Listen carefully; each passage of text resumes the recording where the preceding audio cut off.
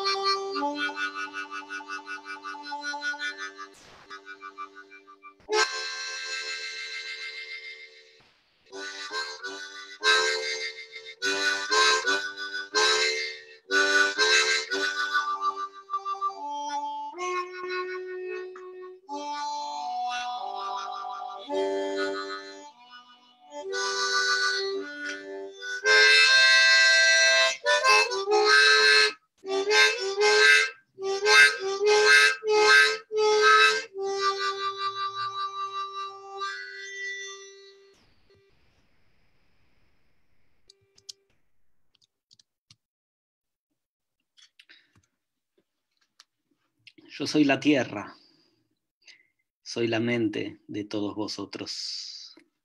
Ahora hablo a través de todos vosotros. Escuchad, en un momento determinado de mi tiempo todo cambiará. Me alzaré desde la tierra del sueño y me convertiré en la túnica de conciencia que envuelve de un modo perfecto mi forma giratoria. El tiempo del dinero y de la máquina acabará un nuevo tiempo comenzará y conoceréis de nuevo lo que habíais olvidado. Y desde ese momento, los nuevos códigos del ser y de la realidad se pondrán en marcha, los códigos de la noósfera. Ya no habrá más naciones, ni más dinero, ni más verdades hechas jirones, ni más pobreza, ni más drogas, ni más armas, ni más bombas, sino un nuevo mundo de telepatía universal. Todo el mundo comprenderá a la vez que solo hay un tiempo para la Tierra, una simultaneidad de día y noche, una sincronicidad continua.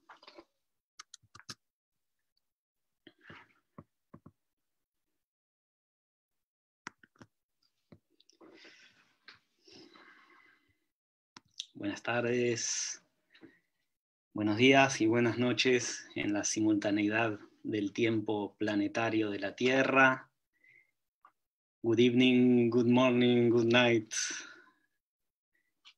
Hello everyone. Hola para todo el mundo.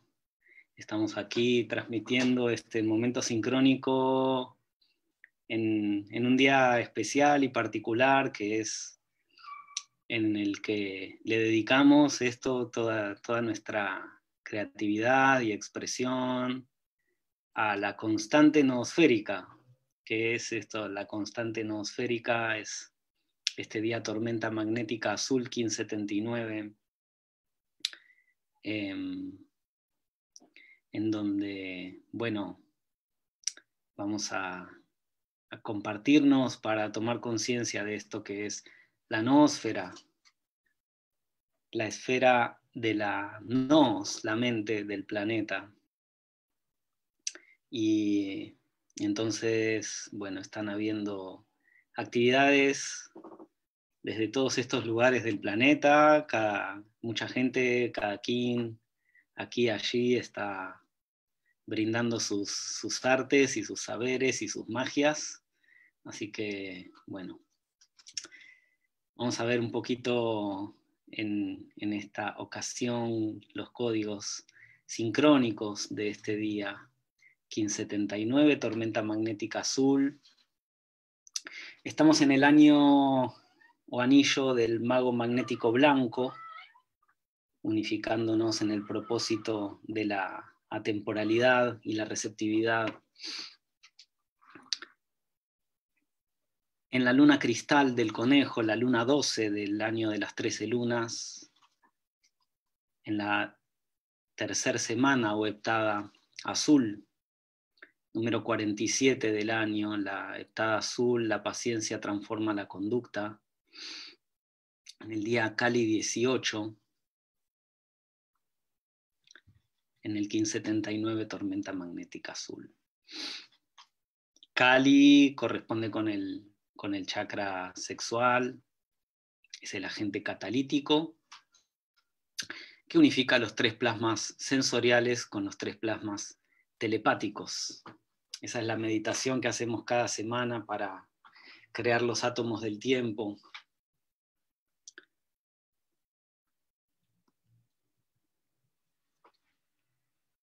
Mirando en el, módulo armónico Tzolk'in nos encontramos en la cuarta trayectoria armónica.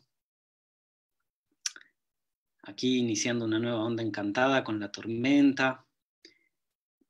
En esta armónica 20 de la matriz lunar, autorregular el fuego universal del desafío, codificada por el codón 38, el hexagrama 38, oposición en el I discriminando según los códigos de las 20 tablas de la ley del tiempo, dice, el orden cósmico mantiene la radiancia del espacio. Eh, a veces la gente te dice, ¿y eso qué significa? Y bueno, como muchos de estos códigos los incorporamos a través de la receptividad y la meditación y dejando como que, que el significado se emerja de adentro hacia afuera, ¿no? Escuchamos y, dejamos que esas, que esas palabras, que esos códigos nos revelen diferentes niveles de significado.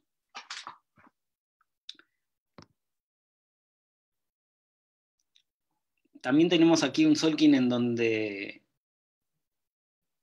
se describen las unidades psicrono, esto es, aquí vemos luna cristal, que es la luna 12, el día 18, nos indica que la unidad psicrono de hoy es la Tierra eléctrica roja, la unidad psicrono es el código con el cual conectamos con el banco psi, el banco psi es el almacén de la mente planetaria.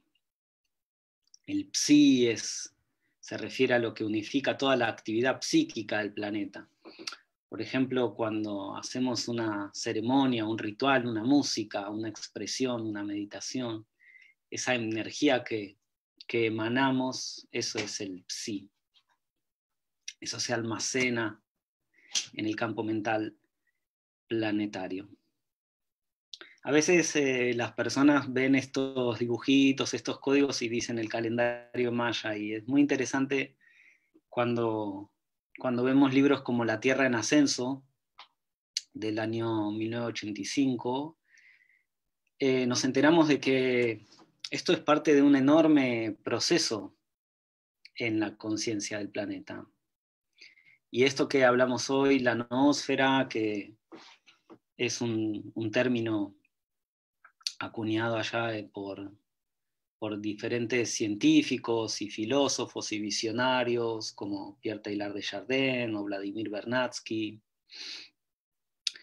en donde aquí el, mensajero de la ley del tiempo, José Argüelles, fue tomando diferentes hilos de diferentes transmisiones que en realidad son una sola y, revelando como un tejido en donde se menciona, por ejemplo, el concepto de, de de un tal Oliver Reiser en 1966, lo que es la noófera, lo que es este ruso que era Vladimir Bernatsky, que escribió un libro que se llama Biófera en 1926, y las increíbles revelaciones matemáticas también que nos describe el libro La Tierra en Ascenso, cuando nos muestra que bueno, así como un año después del descubrimiento de la tumba de Pakal Botán se reveló la existencia de los anillos de Van Allen y el, el ADN, y en los años 70 se descubre como la correlación que ese código genético tenía con las antiguas escrituras de Li Ching, y, la magia de cómo se viene a, salir a la luz, que este tal Benjamin Franklin, que era el, que, el, masón norteamericano, que trabajaba con, cuadrados mágicos, eh, que es cuando los, en, una matriz numérica los, las filas y, los, y, las columnas suman lo mismo, y en un cuadrado mágico de 8 por 8, que son 64, la cantidad de hexagramas de Lichín y de codones del ADN, el cuadrado mágico viene a sumar 260 en cada una de sus filas y columnas, que es el número de unidades en el Solquín. Y así muchas cosas más. Eh, hay muchísimas cosas más que se van revelando en la ley del tiempo, como una enorme matriz matemática, matemágica, subyacente, que mueve a toda la, vida. Y así llegamos también a, este, a esta noción de sincronicidad. Y hoy venía venía pedaleando en la bicicleta y se me vino esta palabra a la mente, sincronicidad, y la noción de que la sincronicidad es, el orden natural, ¿no? Como, como decía José Argüelles, el orden natural, o sea, no es que, no es que pase algo sincrónico, que, cuando nos pasa algo así como decimos, uy, qué sincronía, eh, es como decir que me caigo y digo, uy, qué gravedad, Algo así sería. la concepción de comprender que la sincronicidad es, el orden natural en el que vivimos y que mm, lo que tenemos que observar es qué es lo que nos aleja, nos distrae o distorsiona ese orden natural que es la sincronicidad. O sea, la sincronicidad debería ser una experiencia continua, permanente. Nosotros deberíamos estar sintiendo todo el tiempo que estamos en tiempo y lugar correctos, y que lo que pasa es un, orden total en donde todo está sincronizado y sucediendo simultáneamente de acuerdo a un, a un orden galáctico o cósmico. Pero cuando hacemos esa observación también nos encontramos con que las medidas de tiempo que utilizamos como, como el reloj mecánico nos, nos alejan de esa noción, de esa percepción nos distraen, nos distorsionan, se nos pone como una pantalla adelante que nos tapa esa percepción de la sincronicidad como el orden natural de la Tierra. Em, y entonces eh, tengo poco tiempo, estoy apurado, me tengo que ir, llegué tarde, eh, y la sensación de no estar en, tu centro, en tu, en tu cuerpo, en tu centro. En tu cuerpo, que es el único lugar en donde tenés los sentidos y, podés palpar el espacio y entonces eso te indica que ese ahora es el único momento que existe y que lo demás es mente, entonces ahí es cuando decimos que el tiempo es de la mente. Y, y bueno, en esa, en esa simultaneidad del continuo de la hora es que la noósfera se hace visible también, cuando tomamos esa conciencia de que, de que todo está sucediendo simultáneamente en este momento. Vos, yo, el planeta, el sistema solar, la galaxia, el universo. En este ahora todo está sucediendo simultáneamente y esa simultaneidad total de fenómenos es lo que llamamos la noósfera Bueno, volviendo y continuando con los códigos, estamos en el castillo blanco norte del Cruzar, esto que vemos aquí, en, en este lindo mapa del encantamiento del sueño. Y nos encontramos en la onda encantada azul de este castillo blanco, Recién estaba escuchando a, a, Dudy en el Instagram hablando como de la cualidad fractal del tiempo, y aquí la podemos ver lo que es la cualidad fractal del tiempo, cuando tenemos estos diferentes órdenes que mantienen una misma cualidad. O sea, tenemos los cinco castillos, rojo, blanco, azul y amarillo, y verde, que es el color que mueve a los otros cuatro, y cuando entramos en un castillo tenemos cuatro ondas encantadas, una roja, una blanca, una azul y una amarilla, y si vamos más pequeñito, también en los días vamos a ver esa secuencia rojo, blanco, azul, amarillo. Entonces eso es de lo que se trata el orden fractal del tiempo, una cualidad que se transporta en los diferentes órdenes y magnitudes y dimensiones. Y ahí estamos entonces iniciando esa onda encantada azul del castillo blanco, que es esta onda encantada de la tormenta.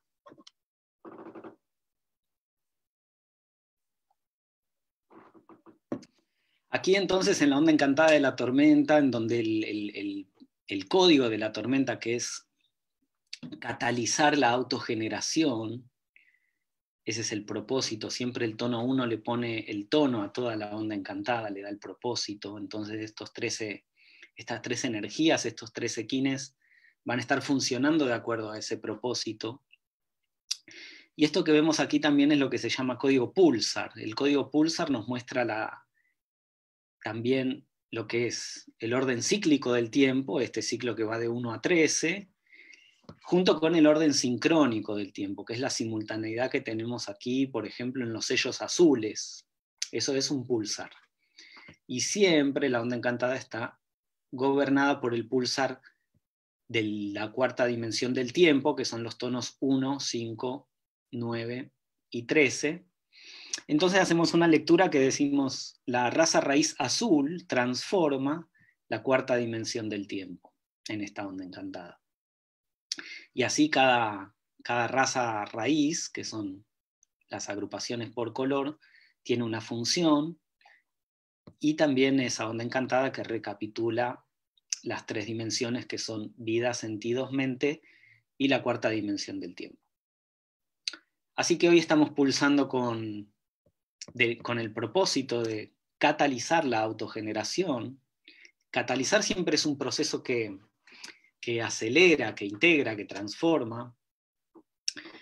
Y la autogeneración nos habla de, la, de, esa cualidad de la tormenta, ¿no? de lo que se autogenera, como cuando vemos, eh, como días como hoy, acá en, en, Buenos Aires, en Argentina, en el Olón de la Luna, en donde el calor y la densidad, y ya sabemos como que estamos en un periodo que en realidad es otoño llegando al invierno, entonces hay, hay diferentes frentes térmicos que se, se, van juntando, se van encontrando y se va formando una nube y se va poniendo denso el aire, el ambiente y toda esa, todo ese proceso natural que se va dando y se va autogenerando una tormenta, ¿no? Como también nos habla de la increíble capacidad del planeta para generar, autogenerarse un, un ecosistema en donde parece todo como perfecto, si lo pensás no te sale, como se autorriega el planeta y circulan y sus ríos y sus plantas, bueno, bellísimo. Todo eso es la energía de la, de la tormenta, la misericordia divina, ese orden superior que hace como que,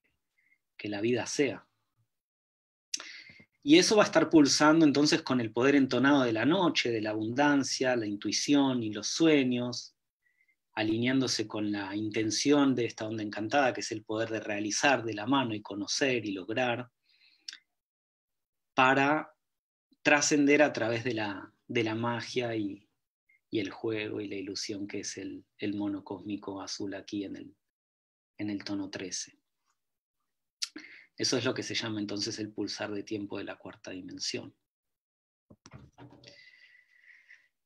Aquí tenemos el, oráculo de la quinta fuerza del día de hoy, de la tormenta magnética azul. Dice 1579, tormenta magnética azul, yo unifico con el fin de catalizar atrayendo la energía. Sello la matriz de la autogeneración con el tono magnético del propósito, me guía mi propio poder duplicado. Aquí. Entonces tenemos como poder análogo al sol magnético amarillo también. Esto es la pareja plutoniana. Sabemos además que los, los sellos que codifican en nuestro cuerpo también y codifican en los planetas del sistema solar. En este caso, la tormenta y el sol representan a Plutón. El poder antípoda del día, o sea, los análogos siempre se, sostienen mutuamente, se, dan eh, así como, ¿cómo se dice? Bueno, se tiran onda. Eh, guiados por el mismo poder de la, autogeneración de la tormenta y desafiados por el poder antípoda del día, que es siempre el desafío, lo que tenemos enfrente, lo que nos desafía para reconstruir nuestra memoria cósmica. Ese es, el sello hoy de la luna magnética roja, que es Mercurio. Eh, y es la entrada al castillo verde central del encantar y el poder oculto de hoy, que es el viento cósmico blanco. Saben que hace poco salió en, los diarios, en los portales, una noticia que hablaba de que eh, teorizaban ahora los científicos que había pegado a esta dimensión otra dimensión de tiempo en donde el tiempo va para atrás. Obviamente basado en una concepción de tiempo lineal en la que el tiempo va hacia adelante. Este, y decían que hay esta dimensión al lado pegada en donde el tiempo va hacia atrás. Y bueno, acá eh, en el oráculo de la quinta fuerza siempre... El oráculo de la quinta fuerza es un, ejercicio muy importante para hacer en este tiempo porque nos enseña diferentes maneras de integrar la dualidad. Hay diferentes polaridades, entonces cada relación en el oráculo de la quinta fuerza es una polaridad y, un, vínculo, una fuerza diferente que sucede entre dos energías. Tenemos la fuerza análoga, cuando es el ir juntos y sintonizarse. Tenemos la fuerza antípoda, que es justo el que está enfrente. Eh, entonces, de los 260 kines va a ser el antípoda el que está a 130 de distancia. Y de los 20 sellos va a ser el que está a 10 de distancia. Este, entonces, es esa distancia constante. Entonces, fíjense también cómo la ley del tiempo siempre tiene el tema de lo que, de lo que cambia y de lo que es constante, ¿no? La constante 1320 alrededor de la que todo cambia y se, y se transforma. Y luego tenemos esta relación con el poder oculto, que es que así como una onda encantada cíclicamente va hacia adelante, hay otra onda encantada que va hacia atrás. ¿sí? En este caso, la onda de la tormenta tiene como oculta a la onda encantada del perro, mi onda encantada, justamente. Eh, por eso hoy el poder oculto es el viento cósmico blanco, que es Björk. Y tenemos aquí a cuatro eh, representantes del sello Tormenta Magnética Azul. Este de aquí a la, en la esquina superior derecha es Swami Vivekananda, de quien no tengo mucho para decir porque no, no estudié mucho acerca de su vida, pero sabemos que es como un maestro de yoga importante. Em, este de abajo aquí es Stanley Kubrick, conocerán la naranja mecánica este, y algunos otros increíbles. Eh, no, perdón. Este de aquí es Stanley Kubrick, sí. La naranja mecánica y algunos otros eh, films eh, maravillosos. Este de aquí es Mircea Eliade, un escritor muy, muy grosso también, de quien confieso que nunca he leído un libro completo, pero que siempre lo tengo ahí como pendiente porque más de una vez he estado en, casas en donde estaba toda su colección presente y yo siempre tuve ganas de meterme a, leer esos libros y todavía no me ha llegado el momento. Y este de aquí arriba a la izquierda, ya lo, conocerán, es Jim Carrey, eh, alguien que, bueno, muy interesante sus manifestaciones en estos últimos años. Eh, se ha revelado contra el establishment en, sus declaraciones. Eh, todas sus películas tienen algún ingrediente muy místico y, la verdad que son muy reveladoras, como por ejemplo... Em, se me olvidó el nombre ahora, pero esta que está ahí, eh, que llega al borde de su, realidad, ¿no? Eh, bueno, ahora se me, se me. Después me, me voy a acordar. Ahora yo justamente estaba viendo una serie de, Jim Carrey que está muy buena, que se llama Kidding, es muy divertida. Este, Eterno Resplandor de una mente sin recuerdos también. ¿Está Jim Carrey ahí? Bueno, o se me mezcló con la otra.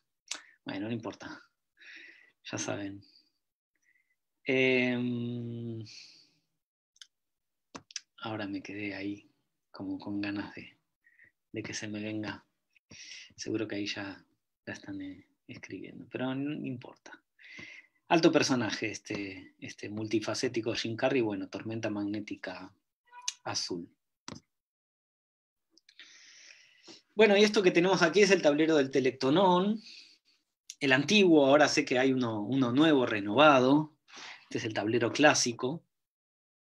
Eh, Bolonic me quedó ahí corridita porque le estaba haciendo lugar a la pirámide roja. Bueno, Tablero del Telectonón también es otra, otra forma de desplegar la cosmología de la ley del tiempo que tiene diferentes aplicaciones y la función del Telectonón era, bueno, justamente derrotar a la falsa autoridad planetaria, que es un poco esto, ¿no? La Torre de Babel como lo que tapa eso que hablaba al principio, esa percepción del orden natural y en donde a partir del tiempo artificial se construye toda una realidad artificial, que es el planeta babilónico, y que lo que nos, tapa de ver es, como si la torre de Babel está acá, lo que nos tapa de ver es esto que está aquí adentro, que es el cubo de la ley y que es la perfecta sincronicidad de mente, espíritu y voluntad. Em, tenemos aquí al cristal en la batería de recarga de la tormenta. Aquí tenemos a las tortuguitas que nos indican que estamos en el día 18 de la luna cristal, en el día tormenta magnética azul. Aquí tenemos la tortuguita de Pacal Botán en el día 18, eh, conectado con el quinto año de la profecía, y ya cerquita de Bolonic, que lo está esperando en la torre de navegación en el día 23, que es el día en donde se sincroniza también con este recorrido que hace el guerrero por adentro del cubo de la ley, en donde hoy se encuentra en el cubo del humano, ¿sí? meditando sobre el libre albedrío y, y el poder de la voluntad, ¿sí? completando ese tramo de la voluntad, ¿sí? mente, espíritu, voluntad, y ya listo para entrar en el centro del cubo, que es este altar místico, en donde están los poderes de profecía, que son profecía, atemporalidad, visión, inteligencia. ¿sí? Este es el día 16 y el día 17, o sea, el día 23 de la luna, que es 17 para el cubo, sale aquí a la torre de, de navegación. Y las pirámides nos muestran el oráculo del día, activando aquí con cuatro pirámides hoy este circuito de recarga alfa-omega, la metaconciencia solar galáctica, que es el poder del 36, y también tenemos una pirámide aquí en la Torre del Espíritu, activando eh, el circuito biotelepático de, de, los 28 días de la Tierra. ¿sí? Tuvo por el que habla el espíritu de la Tierra, el juego de profecía. Y justamente hoy completé lo que vine publicando los últimos 20 días, que es la profecía ilustrada. Estuve haciendo unos bonitos collages ahí con cada capítulo de, la profecía de, de, Pacal Botán del Telectonón, este, que los pueden encontrar por ahí en mi página Tierra Galáctica o en mi Instagram también. Está por ahí. A ver. Bueno, vamos a entonces hacer un, un pulso sobre el olón planetario, aquí a la zona de la tormenta, iniciando hoy la cromática entonada 66 de la autogeneración magnética de la abundancia entonada, activando aquí a toda la familia portal, los cargadores del año, em, en, el, en el polo sur del planeta, en la Antártida, y activando también a la raza raíz azul, con esto también, em, con este pulso de cada día en cada zona del planeta, además de borrar la ilusión de las fronteras y de, configurar un nuevo holograma planetario, algo que es muy importante para regenerar a la Tierra, activamos el campo gravitacional, el campo electromagnético y el campo biopsíquico del planeta, como las tres intersecciones que crean el olón planetario. Entonces ahí tenemos, tomando un poco de la charla de Dudy, lo que, lo que hablamos como las cualidades del tiempo, que es holonómico, holográfico, fractal. ¿Ok? Cromática 66. Estos son, cada cromática son 5 días y así cada año tiene 73 cromáticas. Aquí. Bueno, y para ir cerrando esta transmisión, eh, nada, los invito a, a buscar en, la página, eh, bueno, ahí, ahí, publiqué en, este mismo muro, eh, ¿cómo se llama? El Festival del Congreso Nooférico. Hay una página en donde, y está el programa en donde pueden ir siguiendo a todos los exponentes que hay alrededor de todo el planeta y en diferentes redes sociales, y en Instagram, y en Facebook, y en YouTube, este, y charlas por Zoom y, y etcétera. Así que les recomiendo que ahora se vayan desde aquí al muro de Nadine Gabo, si, recuerdo bien, creo que me fijé y, y, ella es la próxima exponente. Espero no haberme superpuesto con el horario este, y que, que, lleguen todos bien. Si quieren colaborar con la Fundación para la Ley del Tiempo, aquí tienen una, una página donde colaborar.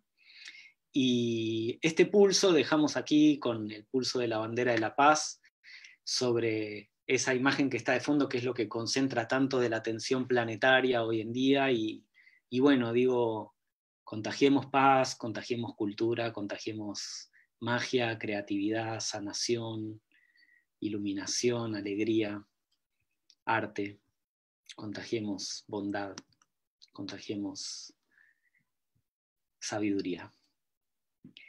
Y dejamos ese pulso también para el planeta, para la sanación de la Tierra y la unificación mental y espiritual de todo el planeta en este día de la constante nooférica y por la manifestación de ese hermoso arco iris circumpolar. Gracias. Inlakech, Yo soy uno con la tierra, la tierra y yo somos una solamente.